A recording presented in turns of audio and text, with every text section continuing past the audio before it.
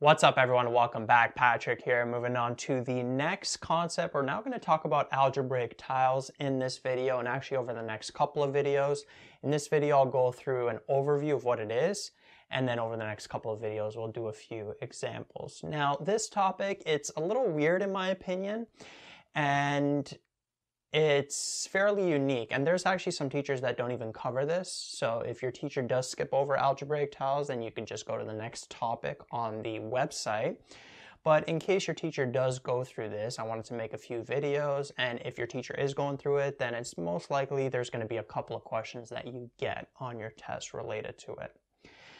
Now, algebraic tiles are basically visual representations of mathematical expressions. So, mathematical expressions,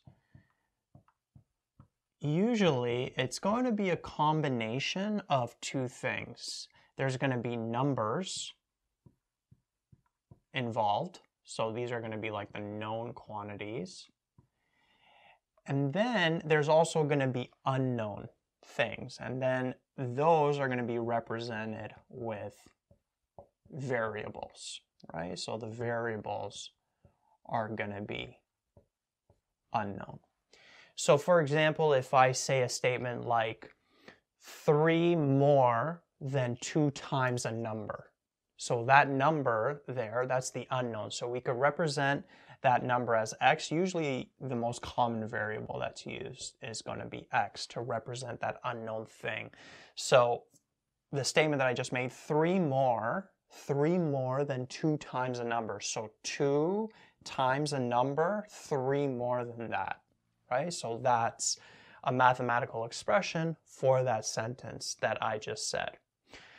Okay, and you can also have like equations. So maybe, for example, if we know that the area of a square, let's say is 36 centimeters squared. So we could take a square, what we can do is we can notice that the lengths are unknown, so we could put an x there for the lengths, and then we know that x times x has to equal that area of 36 centimeters squared. And then you could solve for that variable. It's actually going to end up just being 6, right? 6 times 6 is 36. So we're not going to get into solving stuff yet in these next couple of videos, but I just did want to mention how when you're dealing with expressions, it's going to be a combination of numbers like this 3 over here and then variables like the x, right? A common variable is the letter x, but any letter really can be used. That's arbitrary. So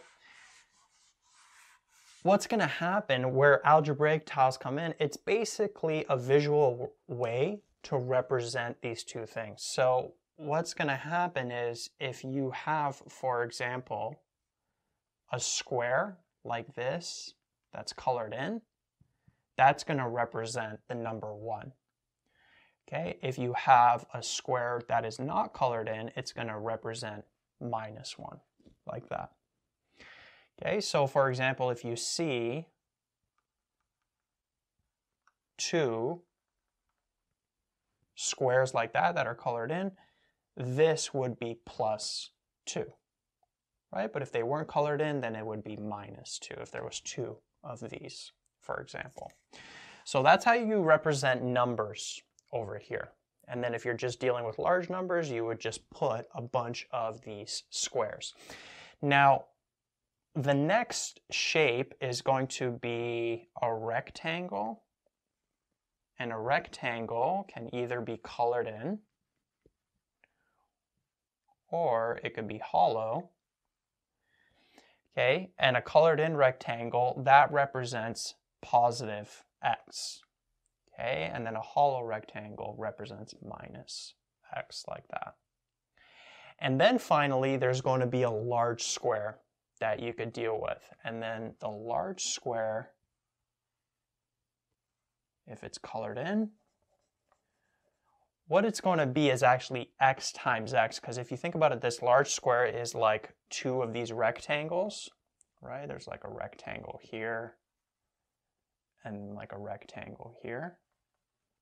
right? So it's almost like you're multiplying them to get this. So it's like x times x. So a large square that's filled in like this is actually going to be plus x squared.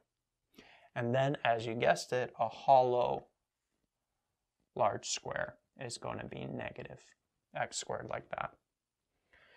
Okay, and those are the six shapes that we're going to be dealing with over the next couple of videos. So as I mentioned, it's kind of weird, right? It's kind of strange how we're doing this, but nevertheless, sometimes it is covered, so we got to go through it. So for example, let's say that I wanted to represent the expression x plus 1 with algebraic tiles.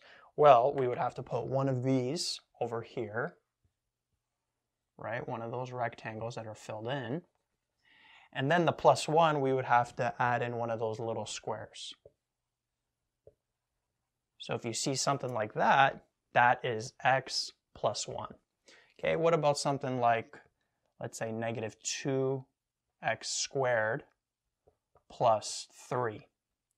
Well, we would put 2 of these, right? Negative x squared plus negative x squared would give us negative 2x squared. So we would put 2 large, or uh, sorry, yeah, two large squares, but the hollow squares because it's negative over here. So this, this, and then there's three of these squares. It's a positive three, so there would be three of these small filled in squares. If it was minus three, then it'd be three of these.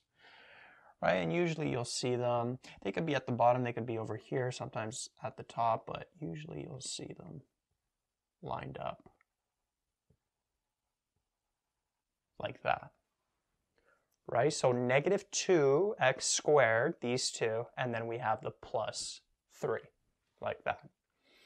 Okay, so it's just a visual way to represent these expressions, and over the next couple of videos, we're going to just do a bunch of examples dealing with algebraic tiles.